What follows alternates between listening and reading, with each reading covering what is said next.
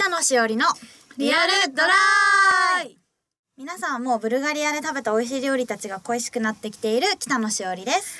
こんにちは、えー、まだ時差ボケではないですが、まあ、ブルガリア熱というかあの感動をですね、はい、まあ、引きずっている佐藤美久でございます。お互いちょっとダメじゃないですか？なんか全然ブルガリアいい意味で抜けてないみたいな。そうなんですよ、まあ、それにねあの聞くところによりますと、はい、なんか来週の16日にあの去年参加させていただいた、はい、ブルガリア協会主催のブルガリアフェアにですね今年も参加させていただきるんだって。またもや。はいそうなんですよ。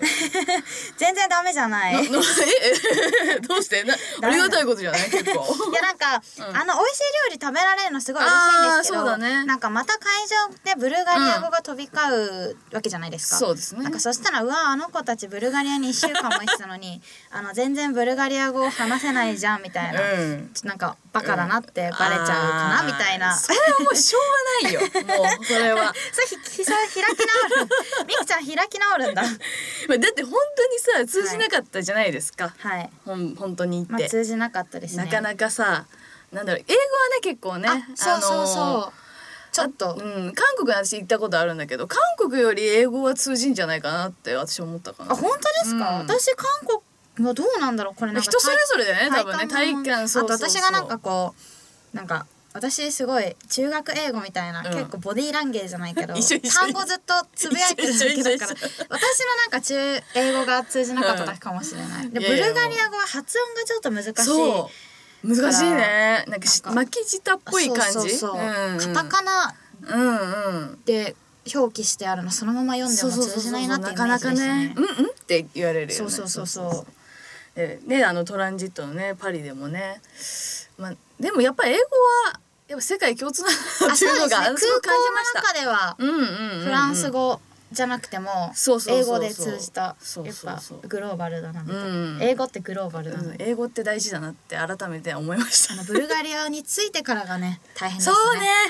やっぱ日本人が本当にあの日本の方がいらっしゃらないので、はい、どうにかこう 自分の知ってる単語を言っていくっていうのがねなかなか大変だったかな難しかったです、はい、言葉の壁はい。それではですね改めてこの番組北野しおりのリアルドライは、えコスプレイヤータレントの北野しおりちゃんと私女優の佐藤美久の2人がえコスプレやアニメ BL そしてサブカルなどについてリアルにそしてドライに進行していく番組です、それではまず最初のコーナーはイベントオブマンスリーのコーナー。イエーイこのコーナーは毎月放送の翌月、東京や千葉など基本関東圏で開催されている代表的なコスプレイベントなどのご紹介や各イベントの特徴やセールスポイントなどについてリサーチャーさんの独断と偏見で、えー、を交えてご紹介していく、えー、コーナーでございます、はい、えー、まずはですね、えー、12月7日土曜日に、えー、株式会社ハコスタ主催、うん、えー、アコスタ埼玉スーパーアリーナトロイ、えー、こちらがスーパートイロトイロか、はい、あ失礼しました。ス、えー、埼玉スーパーアリーナトイロ。はい、で、えー、埼玉スーパーアリーナでございます、はい、そして同じく12月7日土曜日ですね、うん、えー、江崎社主催の、えー、桜城下町イベント。こちらが、えー、千葉県佐倉市、えー、新町です、はい、続きまして、えー、12月21日土曜日。こちらは、えー、フェスティバルウォーク蘇が主催、はい、えー、海辺のコスプレイベント、うん、こちらが千葉県千葉市中央区です。えー、そして続いて12月29日日曜日、はい、こちらがコスプレ博主催。夜のコスプレ博 in 東京ジョイポリス、はい、場所は東京ジョイポリスでございます。そして最後ですね12月28日土曜日から31日火曜日、えー、有限会社コミケット主催コミックマーケット97、はい、こちらが東京国際展示場でございます。これ定番ですね、はい、毎年ね。えー、12月はいろいろなところでイルミネーションが開催されますね、はい、えー、コスプレイベントでもイルミネーションのロケーションで撮影できるものがあります。その一つが12月7日に埼玉スーパーアリーナトイロで開催されるアコスタです。へえ、はい、これイルミネーションなんですね。そうですね。華やかなイルミネーションでの撮影が可能ですがイルミネーションの点灯が17時5時ですね、はい、えー、で、えー、コスプレ撮影が可能な時間が19時までと。2時間ほどしか、えー、撮影する時間がありませんので、はい、まあ、本気でねあの撮影されたいという方はお昼のうちにどこでどう撮るかというのをですね決めておくかも決めておくともいいかもしれません。タイムスケジュールがねそうですね。難しい、はい同じ、えー、12月7日に開催される江崎社の、えー、桜城下町イベントはですね、えー、重要文化財に指定されている武家屋敷や、はい、あの古民家などで撮影ができます。はい、また桜市はですね例年12月の上旬が紅葉の最盛期との、えー、ことですので、はい、紅葉の撮影も楽しめそうですね。はい、そして12月といえば、やはり欠かせないのがですね冬のコミックマーケット。通称冬コミでございます。ま、はいえ毎回50万人以上の、はい、参加者が来るオタクの祭典です。まあ、大変な混雑になるイベントなので会場では人混みに揉まれていきたいところになかなか行けない揉まれてねこう行けないところに行けないそうですね。なんてこともあるので、えー、初めて参加される方はですねご注意くださいませ。えー、また例年と違ってですね、えー、28日から31日の4日間の開催ですので、はい、慣れている方もですね開催日程をですねお調べの上、えー、ご参加いただければと思います。はい、4日間だから少しゆとり出るといいですね。そうですね。はい。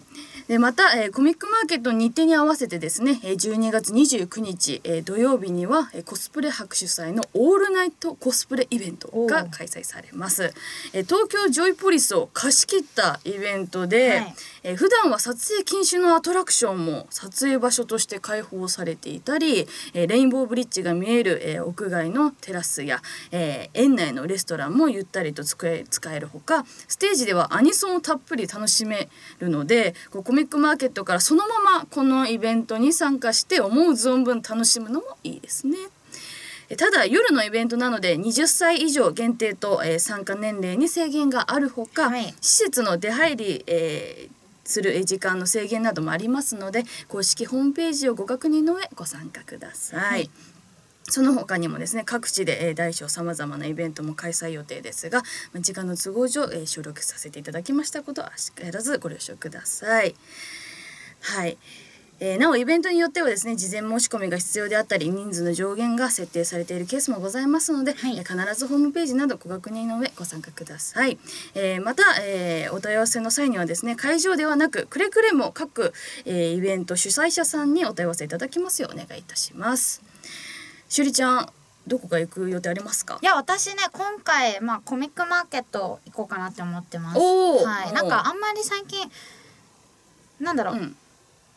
あのー毎月コスプレイベント行くとかは最近してないんですけどやっぱりコミックマーケットって、うん、あの1年の締めくくりじゃないけどいろんな人が来るのもあるし、ね、まあ、やっぱ一番規模大きいコスプレイベントの中では規模私は一番大きいかなって思うんで、うん、今年は。でもあのトナトナコスみたいな、一緒にやったやつ TFT のイベント今年はないのが残念なんですけど。そうなんですね、はい、なんでコミックマーケットの方に今年は行こうかなと。ちょっと例年とだんだんなんかイベントの形式が違くなってきて新鮮ですね。いやなんか今までずっと3日間だったじゃないですか。ああそうねそれがこう4日になったりとかまあ一緒に同時開催したイベントもちょっとなくなったりとか。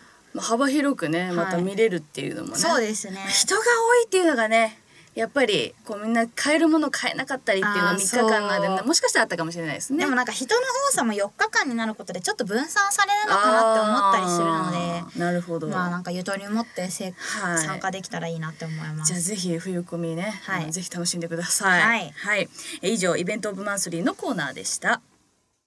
今月の塩ミクランキングのコーナーよ待ってました。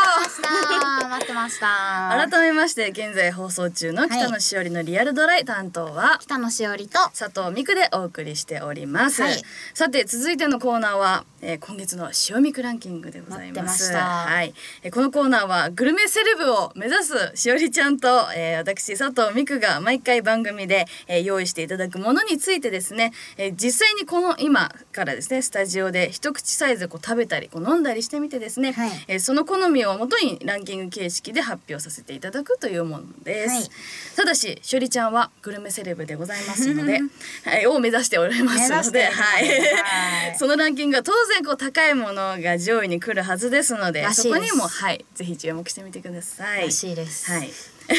そしてお断りしておきますが、えー、可愛いキャラクターのコスプレ衣装でファンを獲得しているしおりちゃんと一応誠実というあのキャラで、えー、いろんなお役をいただいている私佐藤美久が、えー、ガチリアルにもしかしたらちょっとだけ、えー、ドライにコメントをしていただきますこともあしからずご容赦ください。はい、さて今回はあの豆腐についてのランキングということなんですが、はい、突然ね豆腐っていう。いやでも豆腐は、まあ、冬といえば鍋じゃないですか。まあまあそうですけど、まあ、前回,、まあ、前回ブルガリアの食べ物の良さについて語ったので、うんやっぱここらで日本のね、うん、食べ物の良さも再確認 していくべきじゃないかと思い、ね、はい、日本料理と言いますか、はい、豆。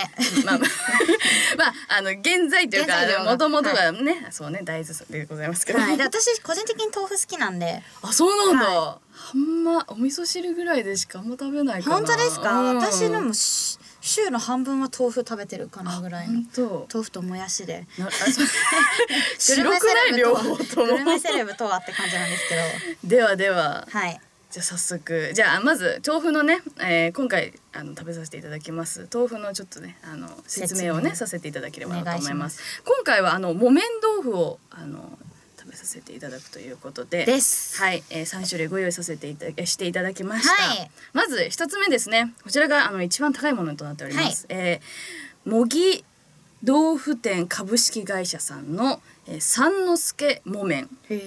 こちらが 300g で302円、はい、税込みとなっております。ちょっとお高いですね。高いですね そして、えー、2番目はですね、えー、株式会社篠崎屋さんの、はい、えー、3代目重蔵国産大豆大銀大吟醸木綿、はい、こちらが 350g で108円、はい、税込みとなっております。そして3つ目ですね、えー、株式会社朝彦さんの、はい、えー、三井木綿、こちらが、えー、300g49 円税込みです。安い。安い。すごい。なんか1位のと比べると値段の差半端ないですね。豆腐って49円で買えるの？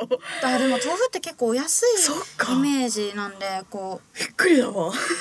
三之助木綿が 300g302 円ってめちゃめちゃ高い方だと思います。この差はすごいですね、はい、手出しやすい価格なんですけど、うんうん、豆腐の中ではすごいお高いなって、高いですね。そういやではちょっと今回もまた、はい、しおりちゃんはねなんか結構自信ありそうなんですけど。いや 豆腐食べて生きてますから。そうそうそう。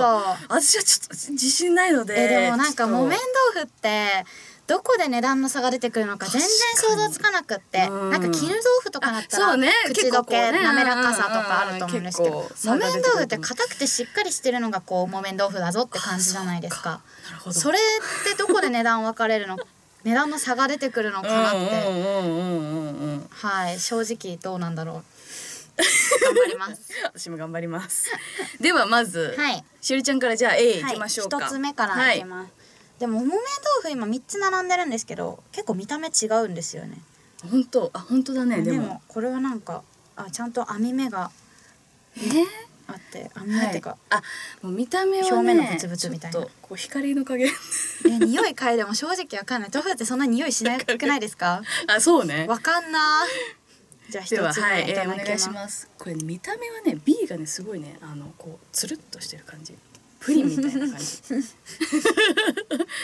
どうですか？豆腐だなって感じ。そうでしょ。どういうこと？みんな豆腐だなって。はいいや豆腐 いやなんか一つ食べたところでわからない、うん。じゃあいいですか？私すいません、はい、えっと私ね A の豆腐いただきます。豆腐だなってしか思わなかった。美味しいですでも。これやっぱ比較が大事。でも豆腐美味しい。豆腐好きなんで美味しいなって素直に思いましたほのかな大豆の感じが。いやでも豆腐全部大豆なんですよ失敗だそのコメント失敗だね。豆でできてるんだから。結構か硬い。あ硬いかも硬いかも、うん、なんか硬い感じはします。崩れにくそう。チャンプルしやすい。確かにでは二つ目。これね、なんかすごいね。そうこれめっちゃきめ細かくて絹豆腐かなって思うぐらいなんですけどえ触っても結構私これ絹豆腐なんじゃないかなって思う。いただきます。えー、うん。なんか牛乳プリンみたい。白いからだけど。大丈夫ですか？なんかこれ、うん、A に比べて、うん、大丈夫？A に比べて、うん、すごいああ。ごめんなさい。大丈夫大丈夫。A に比べて、あのすごいあっさりしてる。あ、ま、あの豆乳の味がします。おおなるほど。A の方がさっぱりしてた。いいですか B の方がこう豆臭さがないっていうか。じゃあ私 B いただきます。はい食べてください。えこれ本当に木綿豆腐なの？全然違うな。えでもこれこっちの方が柔らかい。はい。柔らかい。柔らかい柔らかい、うんうんうんうん、あの口だけ滑らか。うんなんかいつも食べてる豆腐のような気がするのいやでもこれ木綿にしては私いつも木綿派なんですけど これ木綿にしてはちょっとサラサラしてるっていうかそうサラサラしてる。そうそう豆の粒が残ってない。そうそうそう。豆豆の粒は豆腐に残ってないか。A と B は結構差が差というかその食感とかも差が結構あるかなえこれ本当に木綿なのかなって思うんですけど全部に木綿って書いてあるから。木綿と絹の違いが私はそうなんだ。やばいね。私はわかるよちゃんと。だからなんか まあとりあえずじゃあ C いきましょう、はい、でもとりあえず今のはすごい木綿にしてはつるつるとろとろすごいわ。専門家みたいだわしおりちゃん専門家みたいいやこれ今ちょっと私外すフラグ立ってる。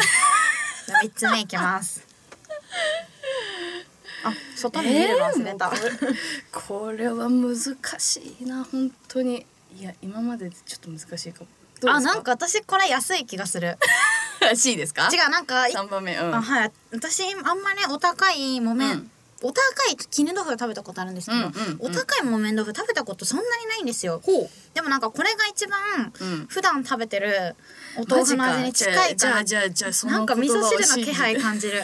味噌汁の気配じゃあえー、私 C いただきます。えー、なんか B がすごい特徴的なのはわかるんですけど。えどうですか？わかる？なんであのか皮があるのかな？なんか皮というかちょっと硬い部分がでもやっぱ A と B と C もやっぱ特徴が全然違うかな？えでも A と C の特徴分かりづらくない？え？わかる？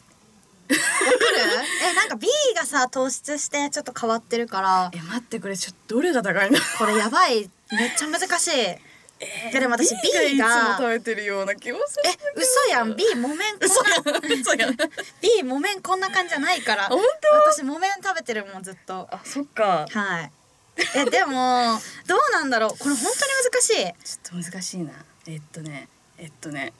いやでも 私この B が B が滑らかなの多分トラップだと思ってるから。でも美味しいなって思ったのは A B ああ だからうん、いつも食べてるって言っちゃったけどいやでもなんか食べてみたいなっていうもうもう一回食べてみたいなっていう感じがする。私なんか A があんまり記憶にない味で B がいや大丈夫。B のことをトラップだと思ってて この特徴的な見た目と食感、ね、最近あの当ててないんで、はい、疑心暗鬼なんですよ。C はいつも食べてる味がした。おじゃあじゃあランキングいきますか、はい、私たちの、はい、じゃあまず、えー、第3位からいきましょう。私はですね佐藤美久はですね C です。なるほど。3番目に食べたものです。はい私も3位は C ですね、はい、同じですね、はい、いつもの味がしたんで。いつもの味がした。じゃあ2位。はい。私は A です。佐藤美久 A です。はい。私は B です。お A いやでもこれ本当、ね、トラップだと思って2位を B にしてるから。じゃあ最後、はい、えー、しゅうりちゃんが1位が A です。A で私が、えー、B だね。はいえー、むずこれなんか答え見たくない。では行きましょう。お腹痛くなってきた。じゃあ A があの答えねあの答えの発表いきます。では、はい、まず A のねものから何かを見,、見てみます。せーの。はい。あ ほら A まず、えー、こちらですね、えー、株式会社朝日さんの、えー、三井木綿 300g49 円。300g49 円を一番一番言ってたやばいもん。しゅうちゃんもいきなり間違えてるやばいもん。こんななんか派手に間違えると思わなかった。じゃあもう B 行きましょう。B 行きましょう。でも B のトラップ当た当たったら褒めてほしいですね。せーの。はい。ほら。あ B はほらあああ私合ってる。二番目の あ二番 B 目は二番目の真ん中のお値段の。いやそう私あのこの大吟醸。株式会社さん篠崎屋さんの、はえー、3代目重蔵国産大豆、はい。大吟醸木綿。木綿 350g で108円。いやそう私あの大吟醸っていう言葉見てだ豆腐に大吟醸って言葉やばい二人ともやばいよ。サインでした私 B だけやってた B だけやってた。じゃあ最後 C、はい。あの失礼しおます。疲れ様でした。申し訳ございません、えー、もぎ豆あもぎもぎ豆豆腐腐店。店株式会社さん、えー、三之助木綿 300g です。300えー、300g で302円。申し訳ございません。いや私あのこの 300g302 円の豆腐食べていつもの味がするって言ってしまいました。これはめちゃくちゃ難しいね。むずいいやでも B のトラップに気づいたのは褒めてほしい。あそうね、はい、こう大吟醸とそのツルツルがちょっと見慣れなかったんでこれかけたの。あえでも A と C 間違えるって結構致命的な問題。ーすいません。ごめんなさい。ねちょっと豆腐を冒涜めちゃくちゃ語ってましたけど。え超語った。豆腐いつも食べてるから。でもなんか私食べてる食べ物ドヤ顔で語るの大体なんかこうあの大きく外す時そうね。大体そんな感じって聞いたんで、うんうん。言ってたねなんかね。言ってたね。なんかここだ？ってまたもやまたもや。またもや。笑ってると思いますよあの控え室のところ。なんかね語っちゃったの恥ずかしいです、ね、いやいやいやいや。まあ本当にでも結構む難しすぎた。あーそう。でも美味しかったでも美味しかったです本当にうん。お豆腐って美味しいなそうお豆腐ってやっぱそのままでもやっぱ全然美味しいなっていうのが、はい。いつも味付けて食べてる。あそうそう醤油とかねこう冷ややっこにする方も多いと思うんですけれども。そのままでもそのままでも十分だなと思いました。はい湯豆腐の時期。はい、はい。ぜひぜひ皆さんもあの食べてみて美味しいお豆腐を。はい、ぜひぜひ食べてみてください、はい。ではしゅうちゃん今回は残念でしたということで、はい、ボコボコにされました。豆腐に。豆腐の角でボコボコにされました。はい、ではまた頑張ってください。はい、はい。えー以上今月の塩みくランキングのコーナーでした。今月のおまけのコーナー。待ってました。ありがとうございます、はい。続いてのコーナーは今月のおまけ。私たちが、えー大好きなアニメや漫画などについてくる特典というかノブリティグッズいわゆるおまけについて新刊本や DVD 写真集などのおまけについて佐藤美久完全独断による一押しの一品を紹介していくというコーナーです、今回ご紹介させていただきますのは、えーバナナフィッシュカフェバーウィンターインニューヨークです、えー2018年新宿そして大阪阿倍野にて開催された大人気を博した、えー吉津えー吉田明美先生による、えー名作漫画を原作とした大人気テレビアニメ「バナナフィッシュ」の期間限定コラボカフェ。